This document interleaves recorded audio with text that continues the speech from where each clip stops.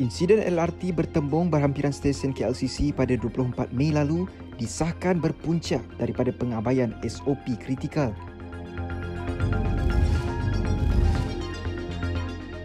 Kementerian Kesihatan merekodkan 60 kluster perayaan yang dikesan sejak 13 Mei lalu.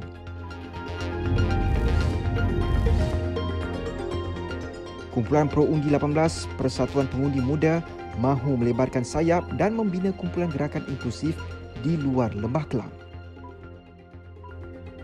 Laporan penuh di saluran 501 dan estroawani.com.